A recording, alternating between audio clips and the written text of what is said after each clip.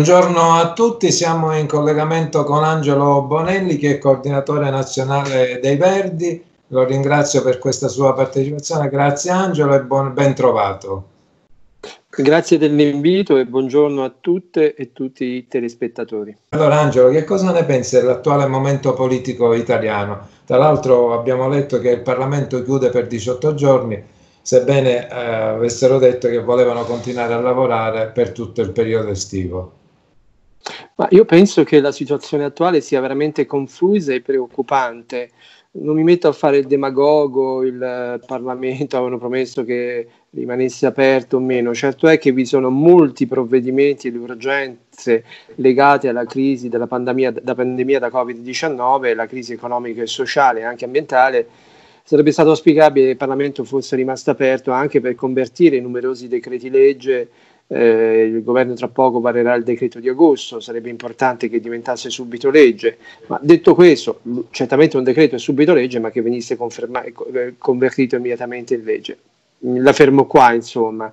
Per me è molto preoccupante perché eh, non riusciamo e non si riesce a capire qual è la visione che il governo ha rispetto al futuro dell'Italia, di come uscire dalla crisi, eh, mi pare che ad esempio il Recovery Fund si voglia utilizzare veramente in una forma di soldi a pioggia. Devo dire che lo stesso Presidente della Repubblica Mattarella ha espresso una preoccupazione in tal senso.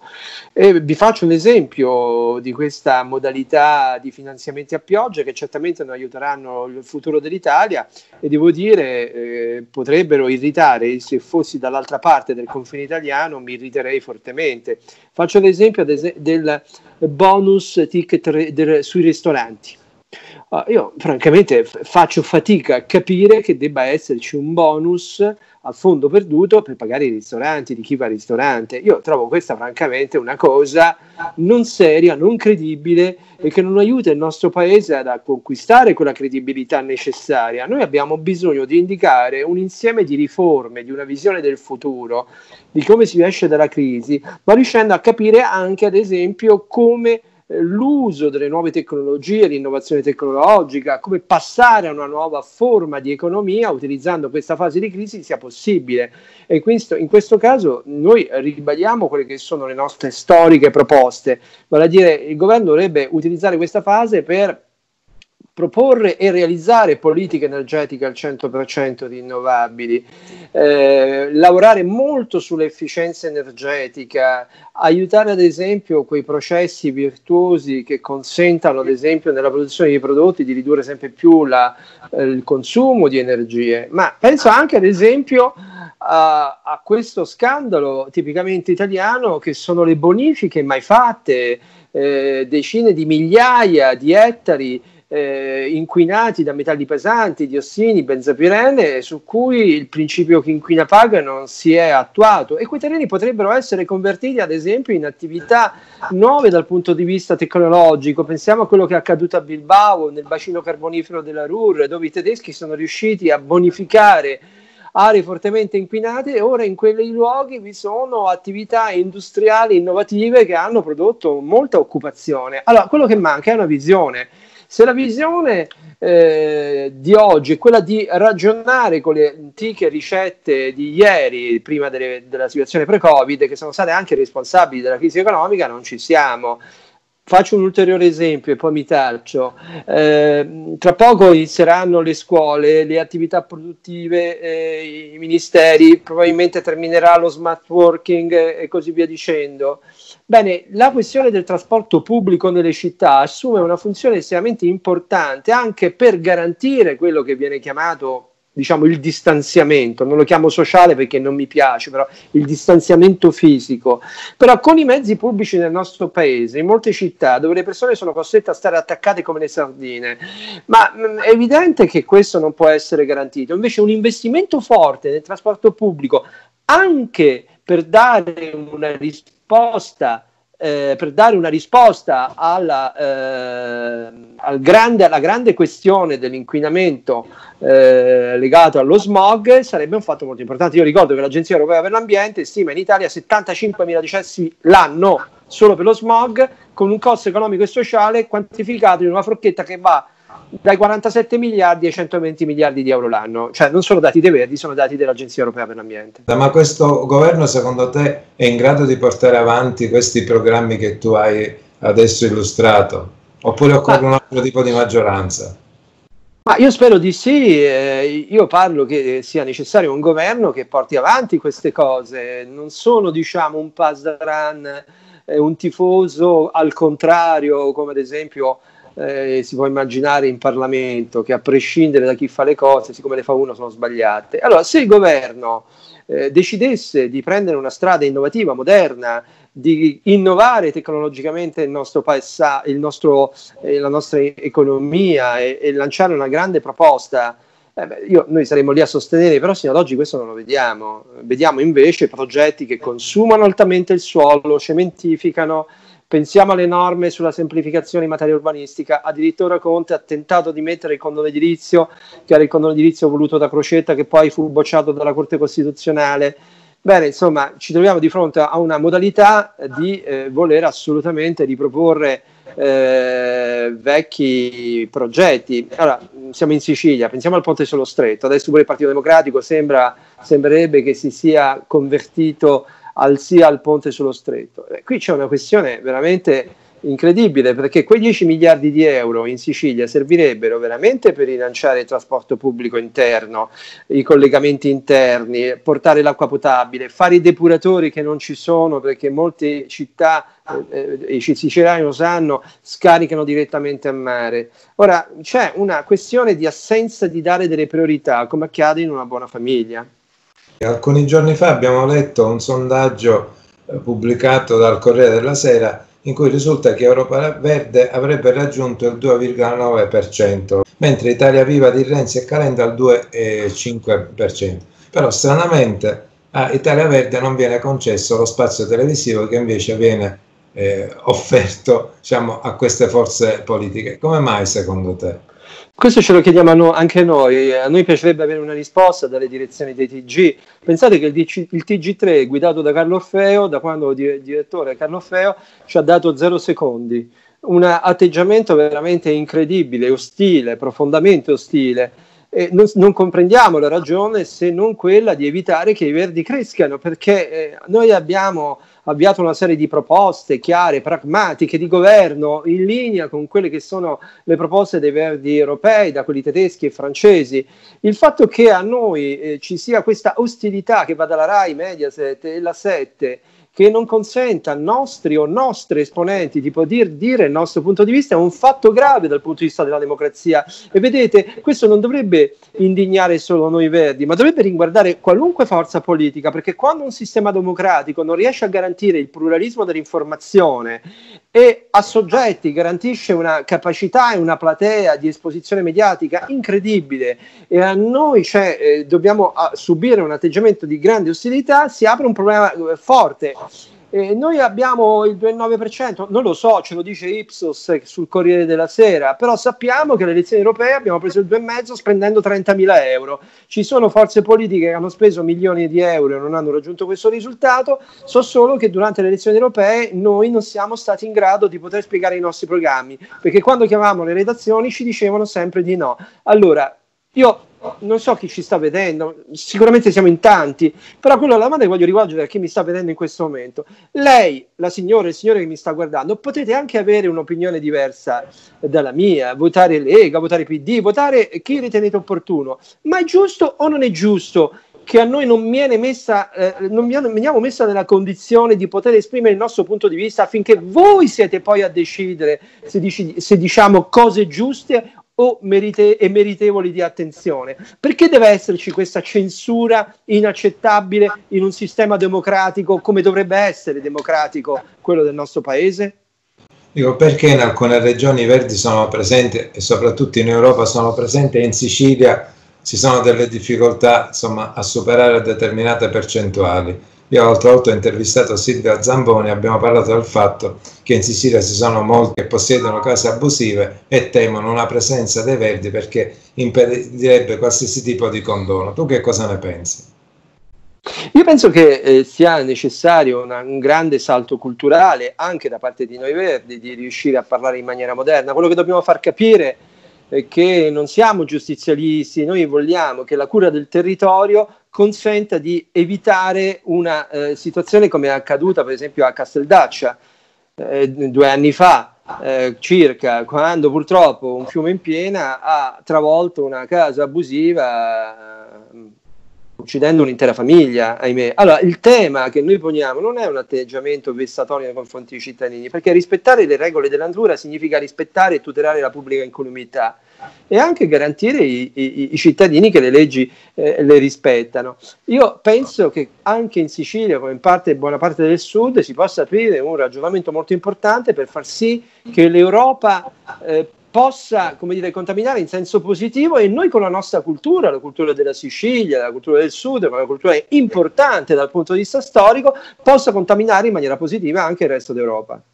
Senti, perché Europa Verde è contraria al taglio dei parlamentari? Perché l'operazione del Movimento 5 Stelle è un'operazione demagogica, inaccettabile. Eh, vogliono, pens- vogliono, far credere che riducendo i parlamentari si riducono i costi della politica, però una cosa non l'hanno fatta, non hanno ad esempio tagliato gli stipendi dei parlamentari, Di Maio ed altri, perché i 15.000 euro che percepiscono sono veramente tre volte tanto dello stipendio dei parlamentari che percepiscono i tedeschi. E allora perché non hanno ridotto del 70-75% gli stipendi dei parlamentari se effettivamente volevano fare una riduzione dei costi della politica? Quello che loro stanno facendo col taglio dei parlamentari è un taglio alla democrazia. Chi vi parla è riuscito a fare il parlamentare per due anni. Io vengo da una famiglia popolare, modesta, sono nato e cresciuto in un quartiere di Roma, Casa Bernocchi.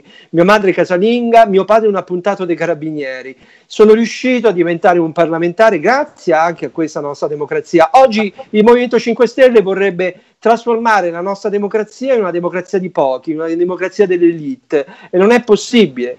E devo dire che è incredibile la posizione del Partito Democratico che oggi si fa eterodirigere dal Movimento 5 Stelle, quel Partito Democratico che per ben tre votazioni sul taglio dei parlamentari ha votato contro, alla quarta ha votato a favore per dare vita al governo insieme al Movimento 5 Stelle. Ora devo dire ancora più incredibile la posizione del Partito Democratico con Zingaretti che dice che se non si cambia eh, la legge elettorale il taglio dei parlamentari diventa pericoloso. Ma questa posizione fa- farebbe inorridire i nostri padri costituenti perché la Costituzione è la Costituzione, non è che la Costituzione è brutta se c'è un tipo di legge elettorale e diventa bella se ce n'è un'altra. La nostra Costituzione andava difesa e invece non, lo, non solo l'hanno difesa, ma hanno consentito questa operazione demagogica inaccettabile. Ecco perché noi voteremo no, perché non si tratta di riduzione dei costi della politica, ma si tratta di un taglio alla democrazia. Se volessero ridurre i costi della politica, dovevano ridurre del 70% lo stipendio dei parlamentari, come avviene in Germania e in Francia, invece non lo fanno. Lascio a voi il motivo per cui perché non lo fanno? Alla luce di quello che tu dici, eh, la strada eh, per le alleanze mh, per i verdi diventa sempre più difficile perché eh, la destra, eh, tu dici che imita addirittura il modello Bolsonaro, eh, il PD dà insomma, questi segnali così, come possiamo dire, di incertezza totale. I verdi con chi possono dialogare realmente? Ma i verdi intanto devono costruire i verdi, eh, costruire i verdi, una presenza forte, autonoma, con ragazzi e ragazze preparati. Noi abbiamo avviato le scuole di formazione dei giovani, la cosiddetta scuola Langhere, e già 120 ragazzi da tutta Italia si stanno confrontando e devo dire che sono ragazzi e ragazzi molto preparati per costruire la futura classe dirigente dei Verdi di domani.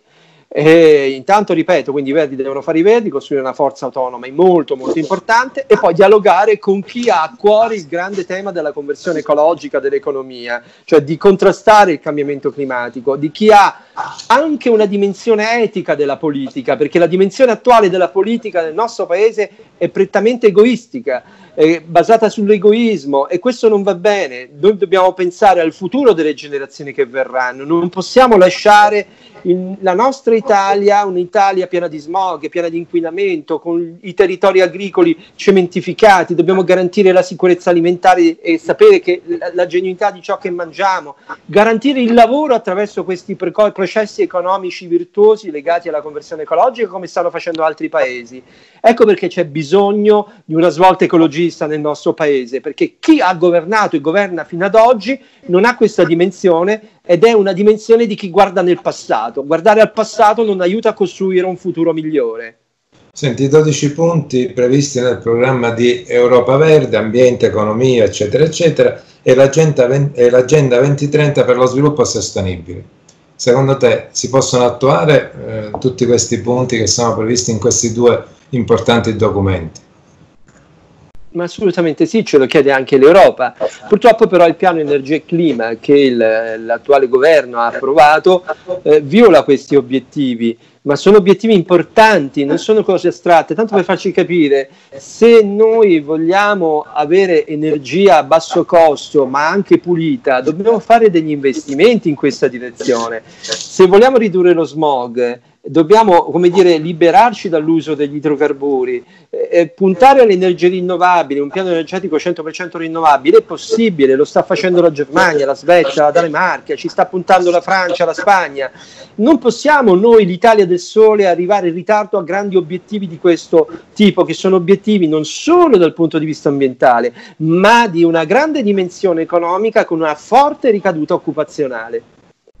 Senti, nelle prossime elezioni che ci saranno a settembre-ottobre in Campania, Europa Verde ha raggiunto un accordo con Demos. Eh, cosa succede negli altri posti? Abbiamo raggiunto un accordo con Demos, che è una realtà di un movimento cattolico legato alla comunità di Sant'Egidio, e lo abbiamo raggiunto anche in Liguria in altri posti ci saranno la presenza di Europa Verde dalla Campania, come ho detto prima, dalla Liguria, in Toscana, in Veneto, eh, anche Val, nella Val d'Aosta e pure nelle Marche in Puglia. Eh, noi contiamo di riportare dopo tanti anni molti consiglieri regionali per ricostruire attraverso i consiglieri regionali una presenza sul territorio in un rapporto diretto con i cittadini, considerata la censura drammatica che noi verdi subiamo dall'informazione televisiva generalista del nostro paese. Senti, ritorniamo al Recovery Fund. Secondo te quello che ha ottenuto l'Italia è, rappresenta una vittoria oppure insomma, eh, non è veramente tale? Ma vede, ottenere quelle risorse eh, non dico che fosse semplice, anzi devo dire c'è stata una trattativa, l'aumento è dovuto purtroppo al peggioramento eh, della caduta del nostro PIL, quindi l'aumento delle risorse è dovuto proprio a quel meccanismo. Il, il, il difficile viene adesso, come l'Italia intende spendere queste risorse per rilanciare la nostra economia, ma se cominciamo a fare i bonus a pioggia, dal bonus ristorante al bonus vacanze, ma francamente rischiamo di perdere una la credibilità o comunque sia di confermare i dubbi che molti hanno su di noi. Noi dobbiamo fare quelle riforme necessarie, ad esempio nel settore della giustizia, per rendere la giustizia veloce. Una giustizia veloce significa dare eh, certezza della pena, ma dare anche diritti alle vittime eh, di chi subisce, pensiamo alla sede civile, pensiamo a tanti truffati da banche e quant'altro che non possono vedere eh, diciamo, le loro denunce eh, a compimento con un giudizio in sede civile a causa della lungaggine. Questo è un problema molto molto serio perché passano 10-15 anni prima del compimento eh, di un giudizio e poi tutte le questioni legate ovviamente alle infrastrutture, al trasporto pubblico, alla digitalizzazione del nostro paese. Insomma, sono lì gli investimenti che devono far crescere la nostra economia, ma fino adesso non abbiamo capito cosa intende fare il governo tranne i bonus che sono francamente qualcosa da, eh, di preoccupante. Insomma, bonus ristorante, francamente. Non ci sta. Senti, mi ha colpito... Io non lo posso proprio sentire. Eh, senti, mi ha colpito particolarmente, diciamo, eh, questa azione solidale che c'è stata da parte dei parlamentari verdi a livello europeo. Eh, come la puoi spiegare? Nei confronti dell'Italia, chiaramente. Ma noi abbiamo noi abbiamo costruito, è stata l'attività diplomatica che i Verdi italiani hanno fatto, è stata molto importante, io vorrei rivendicarla questa. I Verdi italiani hanno fatto un grosso lavoro chiamando i Verdi tedeschi, francesi, abbiamo chiamato gli austriaci, abbiamo costruito insieme un documento eh, per dire sia al Recovery Fund sia al MES, la posizione del Movimento 5 Stelle è francamente incomprensibile eh, del perché non debbano arrivare 36 miliardi di euro in Italia a tasso negativo, perché se andassimo a prendere quei soldi da altre parti pagheremo 4-5 miliardi di euro in più. E grazie a questa attività diplomatica siamo riusciti a costruire questa operazione fortemente solidale che ha condizionato i governi di quei paesi a un atteggiamento più attento nei confronti dell'Italia. Senti, nel 2022 ci saranno le elezioni eh, per il rinnovo del Consiglio Comunale di Palermo, quindi del Sindaco di Palermo e poi del Presidente della Regione. Ecco, i Verdi in tutto questo, perché già sono iniziate le prime dichiarazioni da parte di esponenti politici nazionali, cito uno per tutti, Faraone, siciliano e palermitano del capogruppo di Italia Viva e lui sostiene appunto che ci sarà un'aggregazione appunto di sinistra in cui ci saranno pure i verdi. Il coordinatore regionale ha risposto che non ne sa nulla perché non è stato chiamato. Allora io dico, i verdi come si debbono muovere in questo periodo per affrontare queste due competizioni elettorali?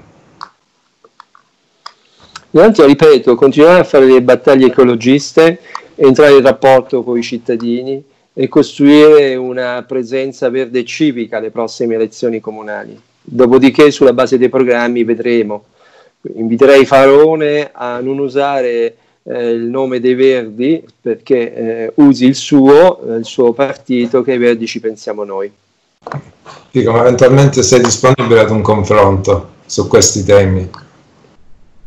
Ma, no, ma i confronti sono la base della democrazia, è a noi che viene tolta la possibilità di un confronto.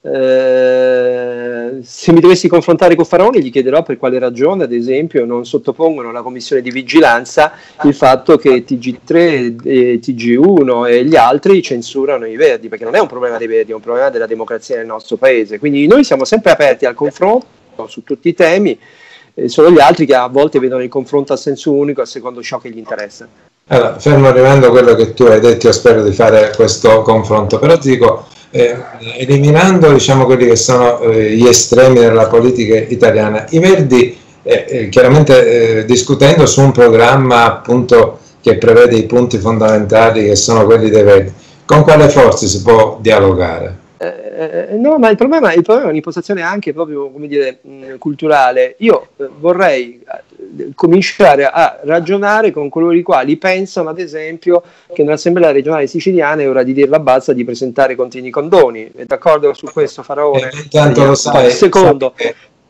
sta, si sta discutendo dell'approvazione di una nuova legge urbanistica all'Assemblea regionale siciliana. Che all'articolo 18 prevede proprio il condono anche nelle zone vincolate. Quindi il problema non è dire quali forze, il problema è, è che eh, su, quali basi si costruisce una svolta in Sicilia che metta al centro il cittadino e la cittadina onesta che crede nello Stato nella legge di non essere sopraffatto dal diritto del più forte o del più furbo.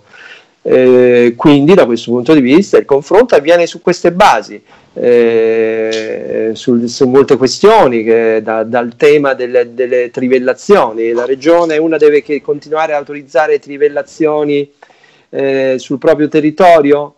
Mm, io penso assolutamente no. Qual quali sono i proventi che la regione Sicilia e quindi queste forze politiche con cui ci confrontiamo vogliono fermare quei processi di desertificazione? Non so se sapete che la Sicilia è la prima regione in Italia che ha il maggior numero di ettari di territorio desertificati e questo è un fatto molto negativo per l'agricoltura siciliana. 38 gradi nell'Artico è un post che ho letto sulla tua pagina cioè, a qualcuno interessa qualcosa, tu hai detto magari se ne fotte qualcosa. Sì, perché il tema del cambiamento climatico e della svolta green è solo un brand, un brand è come mettersi un bel vestito, far vedere che si è fichi, dopodiché quando sei chiamato in Parlamento, nelle regioni ad essere conseguente, fa esattamente l'opposto. Allora basta con queste operazioni di marketing che viene chiamato in inglese il greenwashing, il lavaggio verde, perché abbiamo bisogno di maggiore rispetto. Eh, I tempi ci indicano una risposta immediata. Noi abbiamo un dovere etico nei confronti delle generazioni che verranno di cambiare. Se invece l'atteggiamento di questi politici o politicanti, come li vogliamo chiamare, su questo sono arrabbiato, che usano il brand del verde o, o come forma di marketing per apparire, loro saranno i nostri avversari. Senti, qualche parolina sul decreto sicurezza. Non c'è nessuna parolina perché i decreti di sicurezza sono ancora quelli di Salvini. Dicono che hanno trovato un accordo, dopodiché dicono che l'accordo verrà rinviato a dopo l'estate. Allora non si capisce la ragione per la quale... Cioè, eh, se hai... No, io mi sono chiesto, ma non è un'emergenza questa? Eh sì, eh, se c'è un'emergenza eh, di affrontare questo tema eh, dell'immigrazione che avviene in questa maniera, delle torture, di ciò che, che accade nei lager libici, e di questi decreti di sicurezza che sono gli stessi di quelli di Salvini, non capisco per quale ragione eh, debba essere il tutto rinviato dopo l'estate. Mm, questa cosa non può andare in vacanza, purtroppo hanno fatto finta come se dovesse andare in vacanza, in ferie. Per quanto riguarda la parità di genere, tu cosa pensi? Portare avanti qualche proposta precisa? Ma guardi, parla la nostra storia. Noi siamo l'unica forza politica in Italia che per statuto ha il doppio portavoce, uomo-donna ha l'obbligo della parità di genere nei organismi dirigenti.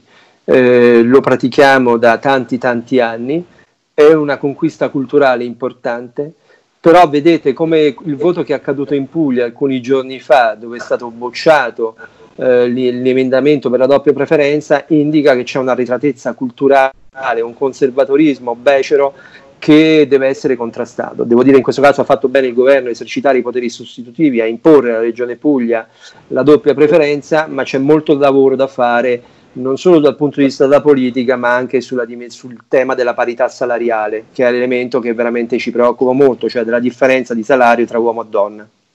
Ah, difatti Alessandra eh, Ghese, come tu sai, propone di utilizzare il 50% del recovery fund a favore delle donne. Tu come la pensi? Ah, sono, eh, ovviamente non è che dice a favore delle donne così in generale, all'interno ah, di certo, progetti certo. di cui abbiamo parlato. Io penso che sia necessario indicare una svolta molto importante eh, legata al cambiamento culturale nel nostro paese e questo può essere uno degli elementi. Ma eh, l'augurio è principalmente che, eh, di mh, mm, sperare che questa fase di Covid sia terminata, anche se fuori dai confini dell'Italia i focolai aumentano in maniera mm, estremamente eh, preoccupante. Noi ci siamo eh, e quando non ci vedete nelle televisioni nazionali non è che non ci vedete perché non ci vogliamo andare noi, non ci vedete perché non ci vogliono. Angelo, io ti ringrazio moltissimo, eh, a risentirci. Grazie, grazie a voi.